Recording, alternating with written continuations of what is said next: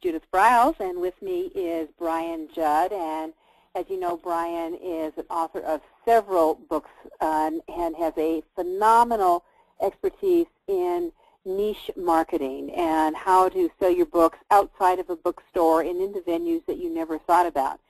And he's going to be in Colorado on the 21st for an all-day Maverick book marketing event that's sponsored by AuthorU. So those of you who are listening in who have signed up, we'll look forward to seeing you. If you haven't and you can get here, that would be terrific.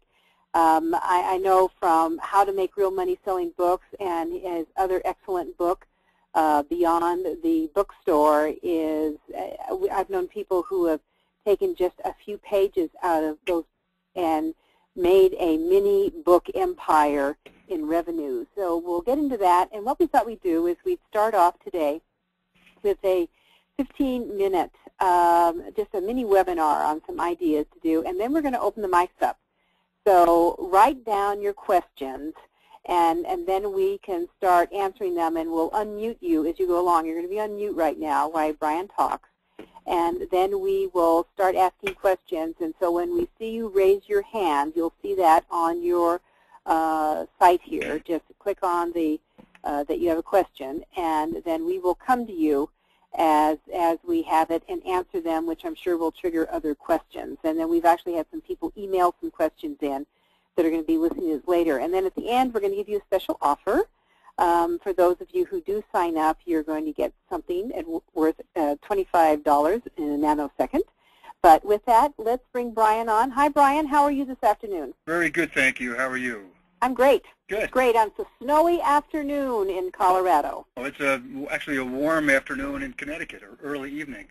Oh, you know how to make a girl feel bad. Okay, so. well, if that's heading our direction, we'll have it soon. There, there you go. But Brian, Brian is, as you can see on the slide, he's he's written 19 books. Um, four of his titles are very specifically towards marketing strategy and planning, um, dealing with books. He's got a spectacular newsletter that I would really recommend that you all sign up for, Book Marketing Matters that comes out. Um, he's a book marketing consultant. He and he he brings what he brings to the party is uh, over multi-years expertise as a marketing manager for one of the Fortune 500 companies and how they grew and expanded under his guidance. And he's also the the founder and creator of a uh, commission-based sales to non-store book buyers. So here we are. And Brian, I'm going to turn it over to you. Great. Well, thank you very much, and thank you all for joining us this evening. We have a good, uh, a good sized crowd for this type of a, of a uh, venue where we can have some questions and Q and A's. As Judith mentioned, I'll just do a brief webinar, about 15 minutes or so, just to get things started. The topic of this will be how to get a fast start in 2012. That's my objective tonight to help you do that. And uh, then we'll open it up to the Q&A. So we'll just talk a little bit about this. But some of the basics, I think, just for basic marketing is have a quality product. I think good promotion will kill a bad product very quickly. So you've got to have a good book that's based on a, a customer need, that's edited, that's produced properly, and it's, it's something that you have to have your commitment behind it. And this idea of a success group is something that I've started out. No, I didn't start, but I am a member of this. We about five of us meet every every other month, and we talk about our businesses. Not uh, we, we bring questions there and topics and information, and we have the other people who just give us insight into the business. So that's a, a, a fun way. And just as I will be hitting some of these fairly briefly, and if you have other questions, we can talk about. If you want me to go more in depth, you can ask that question. I'll hit that later. But one thing that always talk about is to have a plan, and if, even if it's a very brief plan that's platform-based, it doesn't have to be the conventional uh, objective, strategies, tactics plan. All that is, is good. I'm not, but the if you have a platform-based plan that's easy to use, that, that's the key. Is that it should be functional, something that you'll that you'll uh, go to regularly instead of just putting it in the in the file cabinet and picking it up next December 31st to see if you reach your objectives. So just do a very brief plan, just do something that will keep you going in the right direction. This is key. Uh, some of you have seen me do other webinars. I bring this topic up probably every webinar, just to start define who your target buyers are. It's so important that you don't have to have an exact figure of, uh, of women aged 51 to 62 or something like that. That's not, not the point. But the, the idea is that if you know you have a very a little higher economic uh, demographic, well, then you're probably not going to go to Walmart to sell your books. Or on the opposite side, if you have something that would be appropriate for a different demographic, you might go to Target, not going to a, a Neiman Marcus. So just if you have a good feeling about who they are, this is a great question to ask. Who else could be a prospect? I started out in 1990 selling a, my job search book, a book about how to get jobs, obviously. And a couple of years, I started selling them in bookstores. And then a couple years later, I got a call from a prison librarian who said, I'd like to buy my book. And I said, why? but you know, prisoners get out of prison. We want to make sure that they're trained to get a job. And I never would have thought of that. So I contacted other people, and I, uh, I wrote, there was a very little job search information for the Hispanic marketplace, so I had the book translated into Spanish. So if you just keep asking that question, who else, who else, I think you'll find that very, very productive. Where do they shop? Well, maybe it's not in bookstores. Maybe it is in, in Walmart, or maybe or maybe they travel a lot and they're going to uh, airport stores or supermarkets, or maybe they just congregate in associations or PTA meetings. If you know that, then that's where your books need to be available, wherever your your target reader is. So know who they are, where they are, when they are, when they buy. Just like a job search book for the college market is fairly seasonal every year there are 1.5 new college graduates coming into the marketplace. So it's a the, the traditional uh, job search market is not seasonal, seasonal, but part of it is. So if I know when I know that, I know when to time my promotion to meet that need.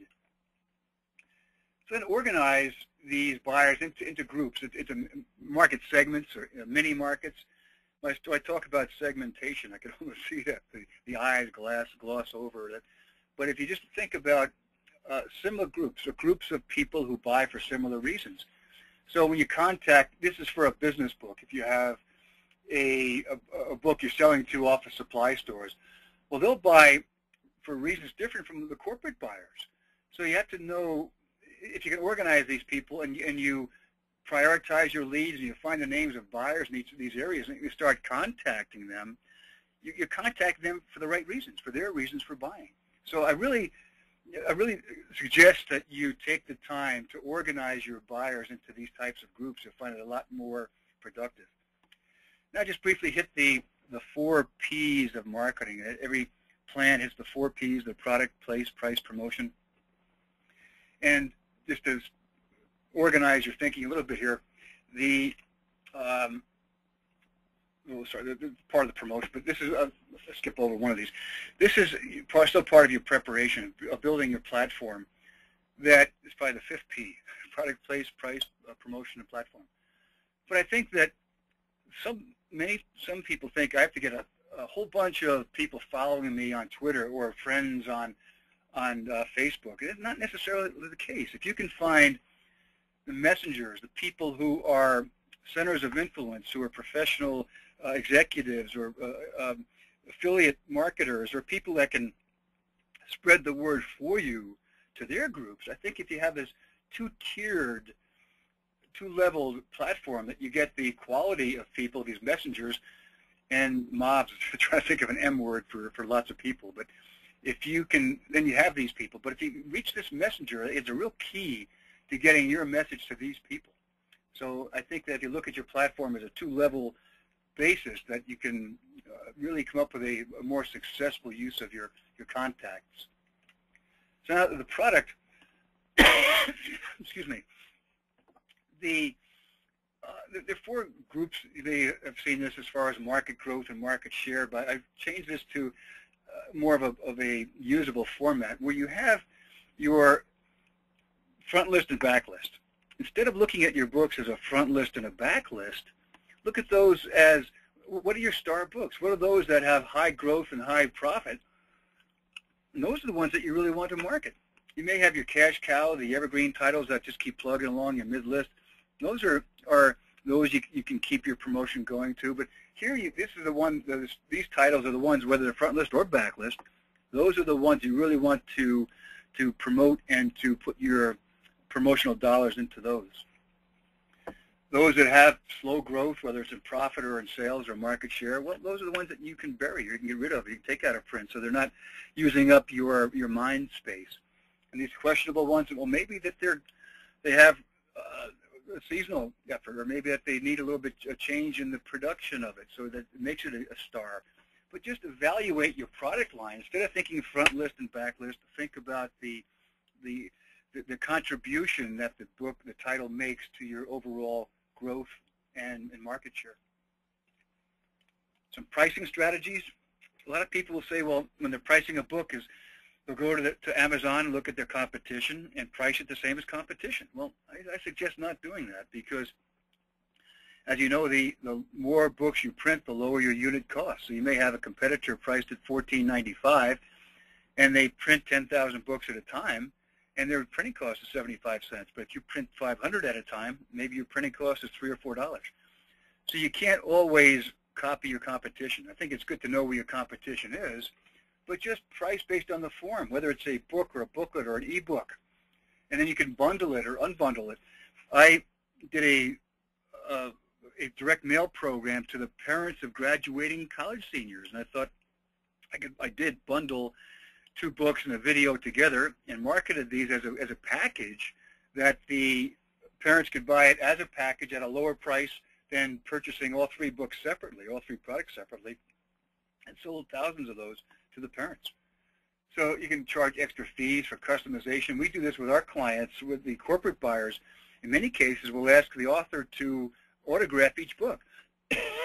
so if you have 500 books, that's pretty, we have to pay the author to do that, obviously. So we can charge for that for adding a, a, a, a authentic autograph. Luxury brands, you control the terms. If you can control the terms, I think it's better than controlling the price because if you can get them to uh, do, if you're charging interest or if you get them to promote or to pay on a shorter basis, then you get the cash flow coming in.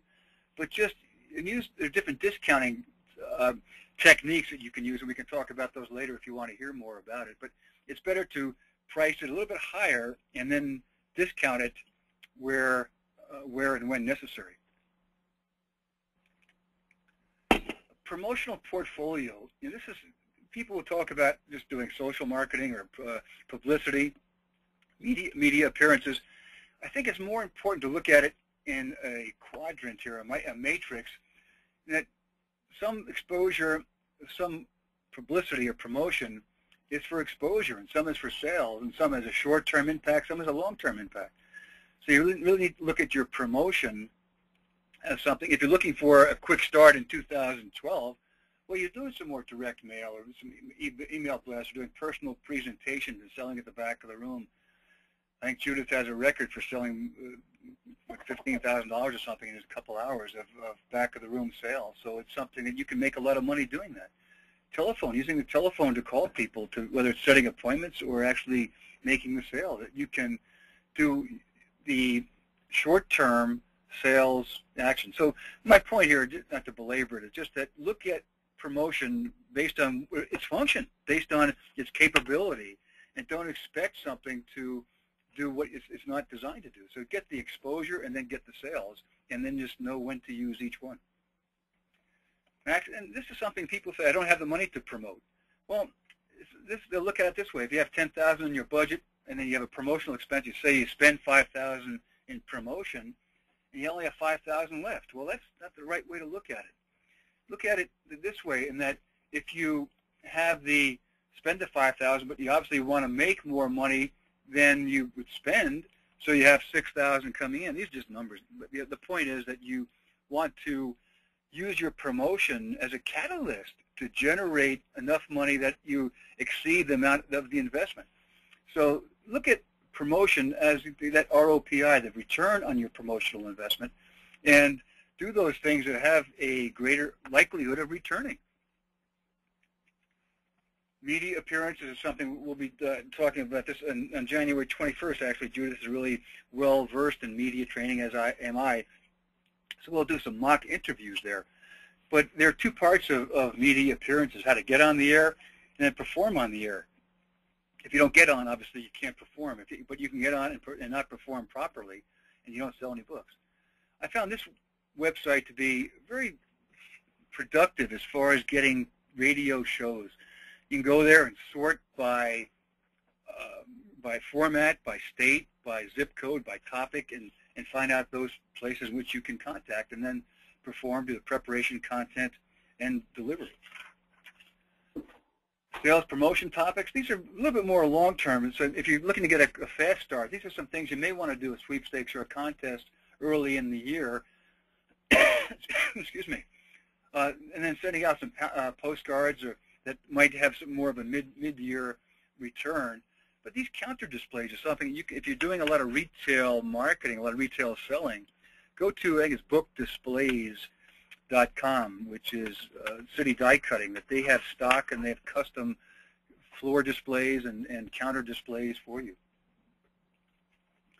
Personal presentations, these can do uh, very good as far as exposure and for sales. If you set it up so you speak at, at, at an event, at an association meeting, for example, and then have someone work with you in the back of the room to sell your books while you're autographing those. And then doing webinars and teleseminars and, and regular seminars and doing trade shows, go to a website called Biz Trade Shows, B-I-Z, tradeshows.com. And you come up with, they're, they're starting now. And you can go to these and either walk the floor or actually exhibit there. But there are a lot of opportunities for personal events that you can could use internet marketing, very these are something that can be very immediate. If you have a good website or you're doing a lot of blogging or doing podcasts, or I have this e-zine, which has been very helpful to me to uh, and to my the, the, people who contribute to it. It's not just my e-zine. It's Judith contributes to it, Dan Poynter, John Kremer, Guy Oxen. Uh, just a lot of different people provide their perspective on their area of expertise. But there are online bookstores, social commerce versus social networking. People talk about the social networking to build up their, their, their platform.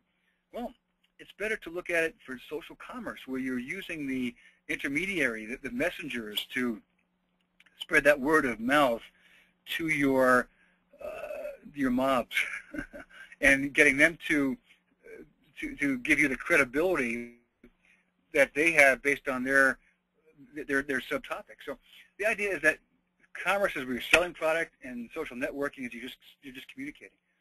But use the internet for that. So that is, uh, excuse me again, I apologize.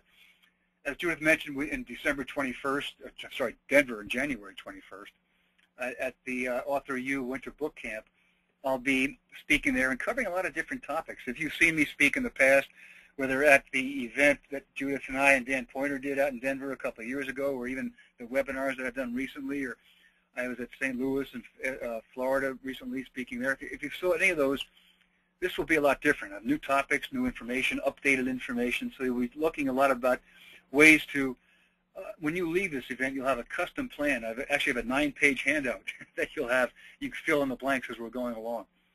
So that is a just a, a brief plug for that. And we'll talk a little bit about that towards the end of this webinar just to give you some more information.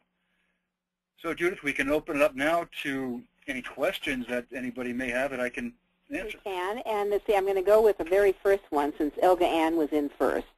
And she has a book on spirituality, and there's always a challenge, I think, Brian, on marketing. I mean, every book has its own little niche where you market it toward. So she was looking for some ideas on marketing her new, it, it, well, it would be in the body, mind, spirit, in the New Age area, and how to get to some of these hidden audiences um, that are very different from the traditional venues. Sure. We have uh, several uh, spiritual type topics that we're marketing now, and it's it's it's more difficult, but it certainly is very doable. Mm-hmm. The thing is to start out defining your target reader. Who is that person? And, and finding out where they shop and so forth and, and setting up in, into target segments. We have that for the titles we're looking at now. Uh, certainly have spiritual and, and New Age bookstores. But we found a lot of opportunities for spiritual topics in, uh, in retreats and, and even in, in the corporate setting. We have a, uh, a corporate library. It's a virtual library we set up for a corporation. And they will announce these books to their employees every month. And the, the books are non-business books. They're, they're trying to get the a balanced employee. So it may be a book on, on spirituality, on how to get a college tuition loan, or how to uh, deal with a, a breakup of a, of a marriage or, or a relationship. So these titles are, are, are really good for that opportunity. If it has a religious connotation to it, if it's uh, then uh, opens up a lot more areas.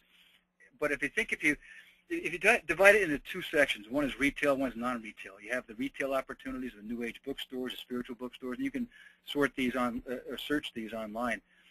One site I do recommend as a search engine is called Copernic, C-O-P-E-R-N-I-C dot com. And what's good about that is that it searches all search engines. So you can designate which search engines you want that to search, Google, Yahoo, AOL, uh, whatever it may be. But the great part about this is that it, it, it, eliminates duplicates. So you can do a search on Google for spiritual bookstores and get 6 million hits. You can do a search for spiritual bookstores on Copernic and get 100 hits. And one of those may be a directory of bookstores. So if you can find out, if you have these opportunities of, of, of counsel, counseling associations, for example. We, we sell spiritual titles or uh, to a, a, an association of counselors, and they may use those in, in, in, different ways. And they'll, they may use your book as a premium for increasing membership because an association wants to, their objective is to maximize their uh, their membership. So if you give a, free, a copy of your book to those who renew their membership or those who um, join for the first time, they get a free copy of your book. Or those as a might be an early bird special for their quarterly or their annual conference if they give it a copy of your book. So if you can find out these people who can use your, your content and how it, it, it will impact them and then find out what are those where are those places in which you can reach them. I think that you'll find a lot of opportunities in retail and non-retail for retreats, for counselors, for even the corporate setting for the spiritual topics. Okay. And then, um, Brian, would you repeat the website again for Copernic to spell it out? So C-O-P-O-R-N-I-C,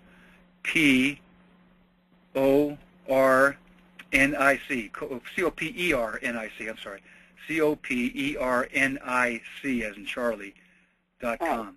And, and I know Elga Ann Welch. I mean, she's quite she's quite good at sales, and so get her in front of a crowd. And I'm going to add on that one of her crowds and I don't know how much she penetrates that, but I think that if she will look around in the healthcare arena, um, a lot of the hospitals through either the Women's and Children's Services or the PR do women's nights out or their health day or whatever, and sometimes they're looking for they're looking for speakers all the time, but they're looking for some balances that you can bring in. And her dealing with um, the where she speaks about uh, the wisdom of the ancients, for example that might be a seductive enough title that they might be open to look at that. And, and I know you can sell a ton of books, which is going to open up my next question. And I think I'll jump on this, and then, Brian, I'm going to let you sure. jump on me in the response. It's from Rich. And, um, and why don't you, if, if anyone has their hand held up, then Brian can go to them next, too, and maybe we can bring your voice online. But Rich asks, uh, what selling books, at, when selling books at an event, do you sell for cash only? And I'm going to tell you the answer is no. Um, uh, I've been selling books for over 25 years at events where it used to be heavy, heavy cash. In Las Vegas, I took chips, but I had to limit it to the hotel that we were in because you don't want to run around all over Timbuktu.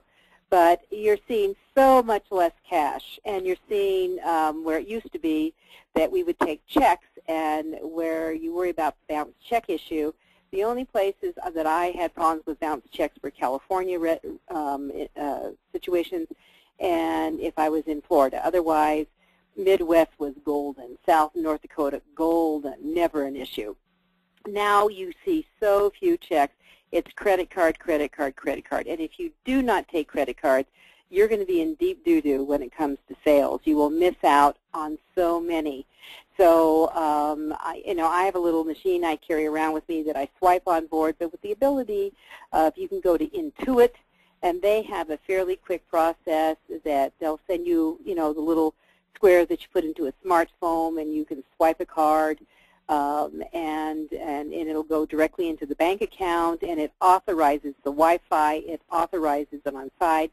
Certainly, the the Square has it. There's a variety of out there, but what do you want to? The, the pain in the tush on some of them is that they require you to put in the address of the buyer. It's a pain. What you want to do if you swipe the card, my God, it's all there. And they want to make sure that the magnetic reader will pick it all up. So all you have to do is put into the, the price of what it is that they're buying. It gets authorized immediately. And what you can say to the person, because you're not going to be printing out a receipt, a lot of people, especially women buyers, want those receipts, I've, I've found, is that you can email them the receipt so they have it there. And what you might want to tell them if you have a, if it's going into an account that has a different name than your name or the name of your book, so they, because sometimes they forget things between the time they buy and they get home or they see the card, um, is that make sure that you tell them that what they will see on their their uh, statement, whether it's a debit card or a regular credit card statement, where it comes from. And that will save you a lot. And Rich, the sooner you get this online and get you going, the better it will be for you and your sales. All right? So anything you want to add on to that? He asked where to get the swiper. I think he said Intuit. But I just started using the, the square that you just mentioned. Mm -hmm. It's right. I have a Droid, and it, it fits in there. It's a, it, they charge 2.75%, which is less than my standard merchant account. But you're, you're right about the, the fact that I, I've been to, to these to many events where I was trying to sell books and and people are come up with a credit card and I've had to manually write down the number and people don't like doing that because then they're they have another written uh, record of their credit card number out there somewhere where they, they don't have any control over it. So it's much better to have some device like the the Square that, that you mentioned that, and that I use and the Intuit or whatever that may be. But Rich asked where to get the swiper. So that's those are two places in which you can get it. But yeah, I and it's, recommend it. Yeah, and it's free. Um, have that, but but usually they'll have now. You know, you're doing Wi-Fi, so one of the things that a lot of people get um, squirrely about is that, but now I have a monthly fee to have this option to do that. Well, check into it. You know, this is selling books, marketing books. There's a cost of doing this. And um, I know that for the way I operate, because I have this little handheld machine, that covers three different accounts I'm operating at. One's for AuthorU, one's for my book business, one's for another consulting practice. That the, the reality is that I can code into each one just by pushing a button. So I carry that with me, but it costs me money. I mean, I have to spend, you know, for, for having to be on Wi-Fi every month for me and how I operate with these three accounts, it's like $29. And then um, I actually pay less than Brian, so do you, Brian. Oh, wow. Uh, but but I'm paying around 1.5 percent. So uh, Brian, you and I can have a discussion on where to go oh, here. we will. and um, that, but they all have charges to it. So you just need to figure out the bottom line. And let me tell you, there's a lot of hidden fees um, here and there. But you should you take credit cards? Absolutely. There is no question about it. You're missing sales if you do not. Do you have to carry a slug of cash and pennies around? No, you don't. And my advice to you is that don't charge $29.95 or twenty dollars and ninety five or fourteen dollars and ninety five. You know, either you're going to keep the nickel or you're going to give them a nickel back um, with that. But make it easy for yourself. Make it easy so your transactions go in dollars, and that, and you don't need to carry much cash with you these days. All right? Yeah, Richard asked the uh, the link to the swiper, and for the Square, it's uh, SquareUp SquareUp.com, S-Q-U-A-R-E-U-P dot com. Mm-hmm. That's the one yeah, I... And do check into it as well because they have a good deal going as well. Um, and they're looking for that. All right, another question that was sent in to me is is uh, where Brian in marketing because they all talk about social media and blogs is one of the key ways to go. Where do you find the right blogs to subscribe to that are connected with your book. And so you become a voyeur, so to say, and, and then eventually post. Sure. Well, that, that's, first of all, just a step back, that, that's a very good strategy, is to instead of trying to create your own blog and keeping that up to date with regular postings on it, is to post on somebody else's blog. So if, if particularly if you have one of these messengers that I mentioned before uh, in, in your platform that has a large audience, well, blog on their site. Send them a copy of your book, and they can they can talk about your book on on their blog. So the idea is to make that as uh, do that as, as, as often as possible. I, I there's a a blog on the Book Business magazine, and they've asked me to blog on there on a regular basis, and that gets to a really good audience.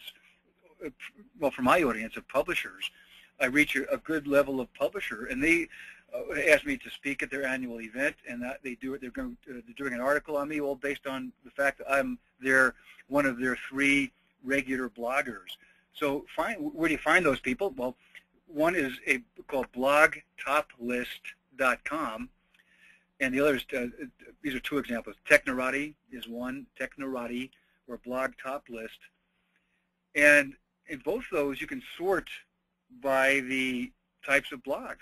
So you can come up with those, and, and as Judith mentioned, go if you're a voyeur on those, find out which those you feel most comfortable with, those that are more aligned with your content, and those that, that which you would feel comfortable comfortable participating on. Because when you when you're out there, you're getting exposure to a large group of people, and you, you want to have a message that's important to them. Otherwise, they'll just turn you off. But the mm. even a little bit more basic than, than that is the fact that I should have mentioned this before actually that you think you'll make more money when you stop selling your books, and that usually gets people's attention because what I mean by that is to sell your content. You're selling the information in your book. People want to buy information about how to, they, they want to get a job. They don't want to buy a book about how to get a job. They want information that will help them get a job quickly. And if, that, if they can get that in a blog, in a book, in an e-book, in, a, in an e-zine, that's what they want. But the idea is that you have to find, you're promoting your content. You, you, you want to become the, and, and you are the expert in your field, in, in your topic. So the more blogging that you do, the more people that you, the more blogs in which you participate, and the more you get your name around, spread around based on your expertise and your content, the much more likely you are to uh, to make sales and, and get and spread and build that platform. So just think about not so much the the format, but the content. Just just one quick example of the, I had my job search book, a Job Search 101, that the one state government loved the book, but they did a lot of workshops, and they wanted something that they could use in their workshop. And they wanted something that would lay flat, and a perfect bound book, as you know, doesn't lay flat easily. So I went to Staples, I cut off the binding, I had Staples put a spiral binding in it, and brought it back to the state, and it would lay flat. The same content, but it was in a different format, and because I did that, they placed a standing order of 8,000 books a quarter with that spiral binding on it. Went to other states and set up the same type of a program. So my point is, don't get hung up on on the format, on a, uh, whether it's a book or an e-book or whatever. Ask the customers how they want that information delivered and provide it in that format.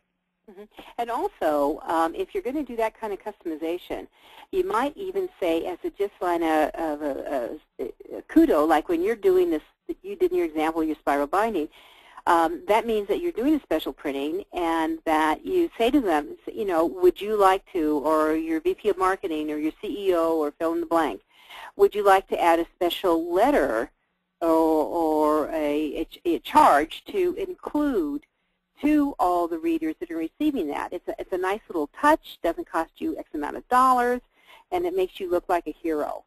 So we have a question. Kathy wants to know that uh, she said you mentioned techniques to get into novelty stores a few minutes ago. Can you expand on that just a little bit? Sure. The uh, spread that the, the, topic out to gift uh, stores in general. That it's a great question. I think something if you can, but first define. It gets back to your target reader. You go back to the basics. My my reasoning for that is that if the the person is going to go to a, Hallmark store is much different than a person who's going to, to purchase a book or a product at Spencer Gifts or Urban Outfitters. So go there, first of all, define your, your buyer. And then the go, there is no really uh, direct distributor or distribution outlet towards gift shops. But if the idea is, is that if you want to, you go to gift marts, uh, go to gift trade shows, and there's a website called greatrep.com. And this site will, will help you or will tell you about the upcoming gift marts, upcoming trade shows, and it will also set up, you can set up a rep organization through, rep, uh, through Great Rep. Just like the NAIPR site, the National Association of Independent Publishers Reps, you can set up your own rep groups to bookstores.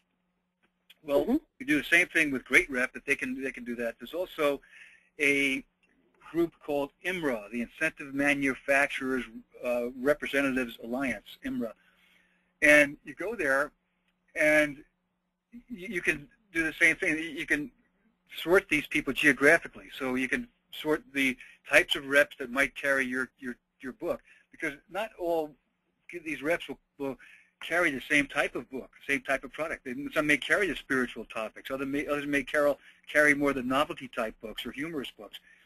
So the so one will be calling on Spencer and the other will be calling on Hallmark. But this at, at Great Rep or at IMRA, you can sort by the types of products that these reps carry and geographically where they go. So you can you can do that. There's also the uh, GCC.com, the um, Gift cat Creative Catalog, I think it is. What they do is put a catalog together of different products, and then they they sell this this catalog to a gift shop. So the the, the catalog, the, the, gift shop puts their name and their their uh, contact information on this catalog. So you would go to GCC and get them to put your book in that catalog, and then they send it out to the whether it's they have an online version of it, and they also have the the printed version of it. So if you go to the, that's a way to get through a, a middleman, so to speak, of the GCC. I think it's GCC.com. But th then they will get your book to them. But there is that's one of the, the few uh, opportunities that in retail that doesn't have a distribution, a formal distribution network. One thing I did was trying to get one of my clients' books into Restoration Hardware, and it's I wanted to get it in their catalog, not in the the, the physical uh, stores. So what I did with the manager's approval, I went there. I took I put the book set up in different settings and took pictures of it, photographs of it, and then I got the the uh, the Restoration Hardware catalog. I uh, actually placed this, this, glued this picture of this book in this setting in the catalog page in the section which I thought it should go, and sent it to the catalog buyer. The, the, the buyer loved it because I did his job for him. In the sense, here's this book. It's a, here's the pricing for it. Here's the quantity, uh, the case quantities. Here's the, the promo that this author will be doing to support your catalog sales as well as your in-store sales. And here's how it here's how it would look in, in, in your catalog. And they loved it. So if you can, that's one way of, of, of doing it to get into their uh, their the gift shop catalog. And but start off with it with the definition of your target reader, so you know that. Okay, and if, listen, um, make sure you put your questions in or put your hand up so Brian can go ahead and, and uh, open up the mic and come directly to you. All right, another question that came across, Brian, from Susie was, is advertising a waste of money? Or is there is there a difference between advertising and marketing? I mean, what's your two bits on that? Uh, it, it depends. oh, okay. I, I think that advertising can be very effective if it's, if it's niche oriented. I took out the rear, there was a, a special magazine that went to all the college career development officers. Mm -hmm. And it went out quarterly. I took the fourth page, the rear cover, and did a four-color ad in that. It was $700, $700 a quarter. And then I went to the quarterly uh, trade show that they had around the country, and I set up an exhibit there a, a trade show booth, and I got a lot of exposure. People, I had the magazines there first of all, and people said, "Yeah, I saw this book there. It's great." So I was able to sell books at, four, at list price, fourteen ninety five, non-returnable, and more than cover the cost of the ad. So, and they gave me a discount on the exhibit space because I was an, ex, an advertiser. So I think if you advertise in a, in a niche opportunity, it can be very, very productive. I don't recommend an advertisement in People magazine or even the New York uh, Times or a, a major newspaper in their book review section, that I think is a waste of time, waste of money. But another program I work with my clients is to advertise to associations, or I should say through associations, in the sense that an association has a quarterly or monthly newsletter that they send to all their all their members. So if you go to a website called Weddles, W-E-D-D-L-E-S com, you can sort the, all these associations by their their function. So you find those that are appropriate to your content, and then contact the newsletter editor and say that the newsletter editor can excerpt from your book and give some limits to how much they can excerpt each month and exchange that for advertising. So you get free advertising. So if you can barter advertising, it's free, then, then it's very, very accessible. Then it's very productive. Uh, it's productive because it goes to your your target market. It's productive because it's uh, it's sent to them by a credible source. It comes from their their association, and they will probably open up that newsletter because it's part of their membership dues to receive this newsletter. And there's your excerpt. On month one is an excerpt, month two is an ad, month three is an excerpt, and you can get that some great exposure. That's why I said it depends because it, it can be very productive. There's a a, a, formula that advertising agencies use. It's called it's, it's reach times frequency equals the gross media weight. But the, the key is to you want reach and frequency. Reach is to reach a, a large number of people, but you have to reach a large number of people more frequently. So that's where your budget comes in. Do you reach people?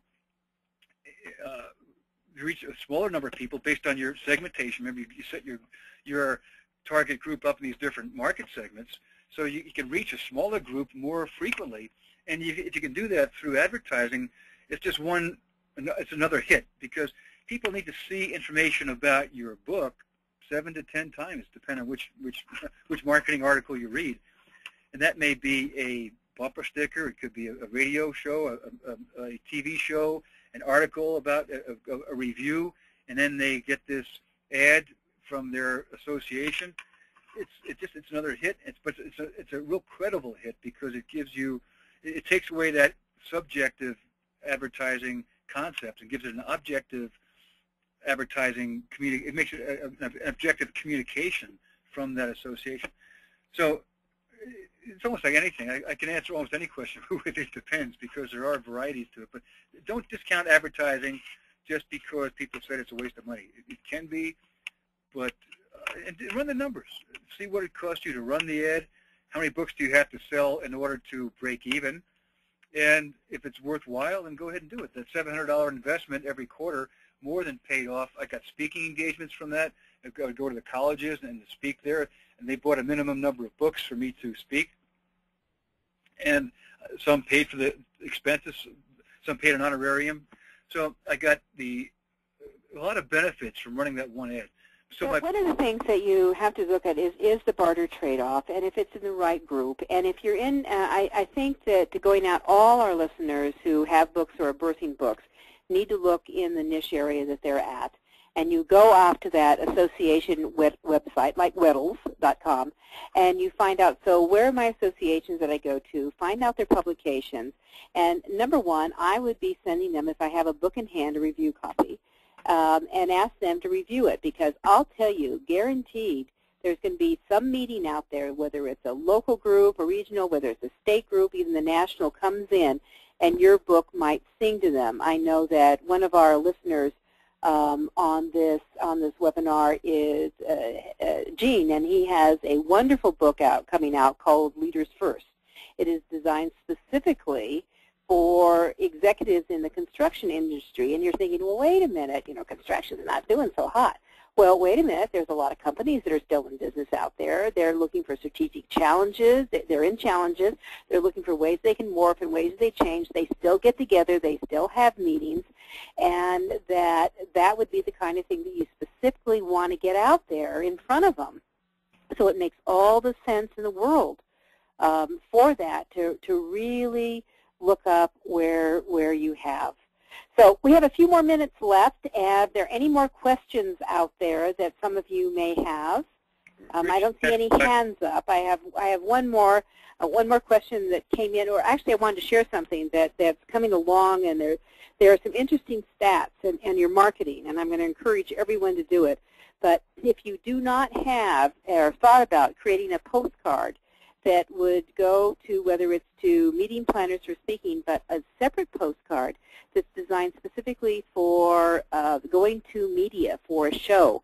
And you design it so you have on that back side, you know, a couple of sassy, salty statements that will get their attention about your book.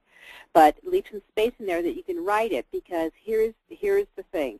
People are so OD'd with all the emails that they're getting, that you will get their attention with a postcard and get it in front of them. So don't forget the value of, of some of the traditional, just with a little morph, of using a snail mail approach. You get a roll of 29 cent stamps, 100 of them, and you start doing that target to get out there. And I know in the speaking field, I've had people tell me that they've held on to my cards for months and months and not trashing them and throwing them away because they were intrigued with the topic or they loved the book cover or who knows.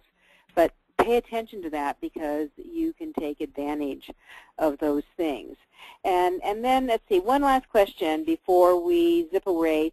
That Brian, you talk a lot about pricing strategies. Do you, do you do you always stay set with the price, or do you do you diddle with them a little bit? You know, what what's your take on that? There's, uh, it depends. oh, yeah, I knew that was the answer. well, there's the two things, two ways, several ways to look at that. First, there uh, retail versus non-retail. In retail, your book is right up next to other product in a bookstore. You're, you're right next to other books. And I was doing my, I had my job search books in, in Barnes & Noble and Borders, all the major stores. I was doing a lot of TV and radio shows. And I was directing people to go to these these stores looking for the my books. And there they were right next to all the other books, and people had an immediate price comparison. So they see my book at $14.95. Here's one at $12.95. Looks pretty good. I think I'll save $2 and get that one. So on, a, a, a, on the shelf, you have an, an immediate price comparison. You really, so you really have to be priced by by value. You've got to demonstrate the the incremental difference. If one's at $14.95 and others at $12.95, how is your book $4 or $2 better? How do I get two dollars more value from that? So you're using make sure that you it's, it's that's value pricing. Then you have competitive pricing where you look you're looking at the uh, if you're going against a market leader like the, some book something about a parachute in the job search area. I know what don't tell me it's what color is your parachute. Everybody said you know, how's your book compare to that? So I really couldn't go higher than that book because I was um, that was the market leader in everybody's eyes.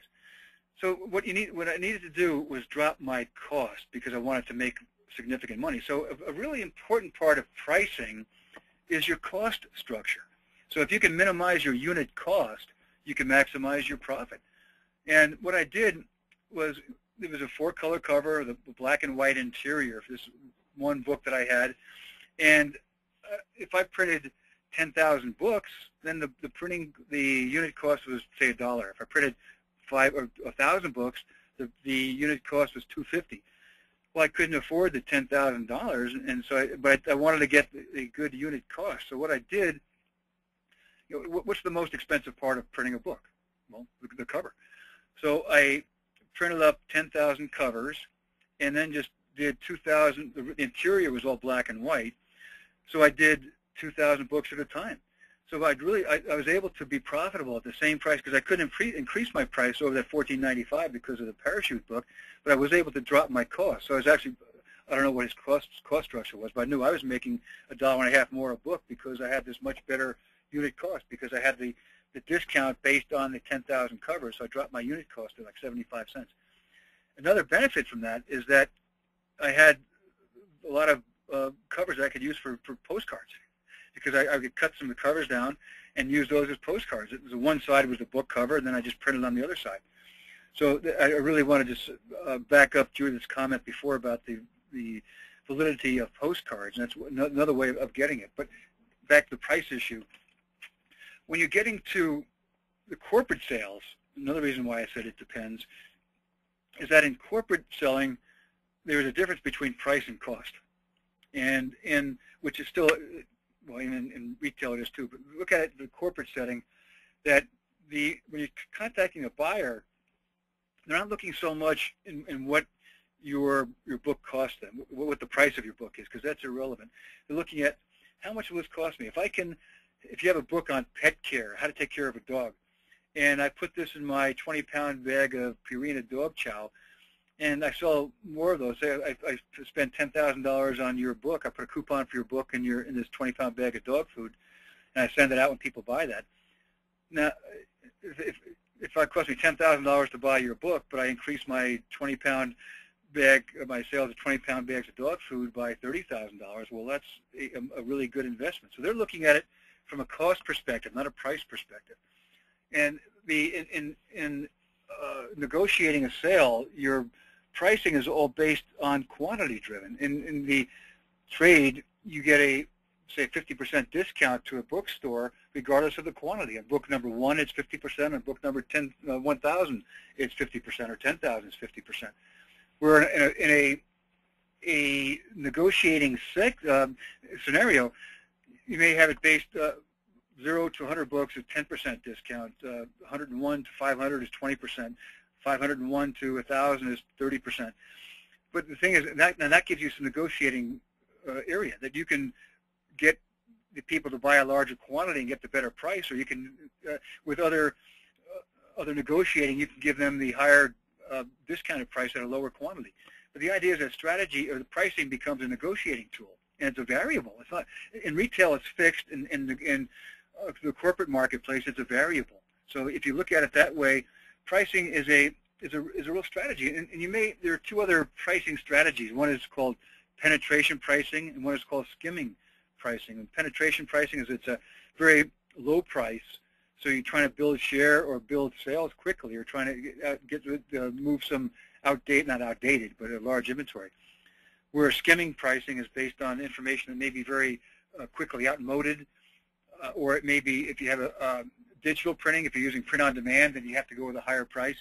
So there are a lot of variables to that, but the idea is that don't don't don't just say, well, 14.95 sounds good. I'll, I'll use that.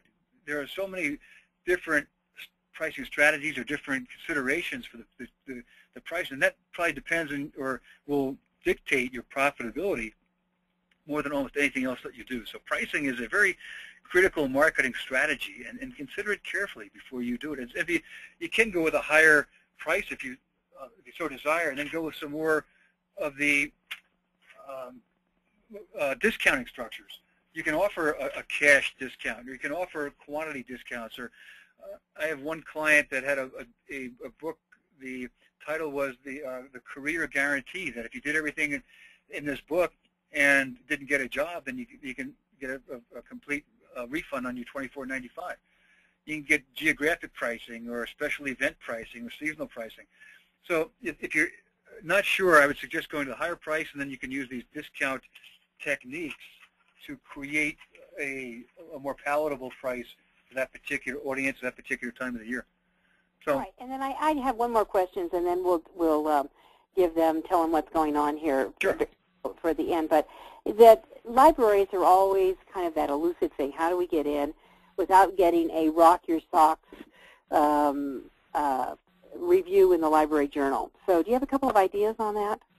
I do, Judith. One is, uh, I think what one client of mine did was created, conducted a library tour. You can go to the ALA website and come up with the list of libraries in your state or your county.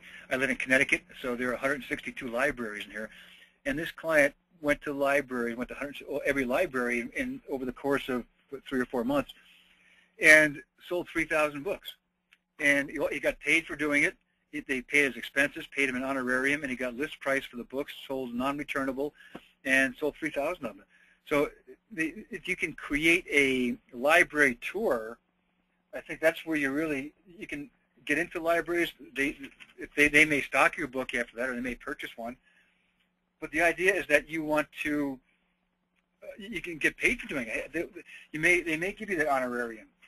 So that, that, I think that's a great way of selling through libraries instead of selling to libraries because if the libraries, they may purchase one copy of it or a, if you want to go to a, a city like New York City or Denver or, or whatever, uh, the LA or Dallas, whatever that the library association is for that that that group, they, they'll buy in large quantities. Is my my point. That there are 80 libraries in the, in the New York City Library uh, Association. So one contact there will yield 80 sales.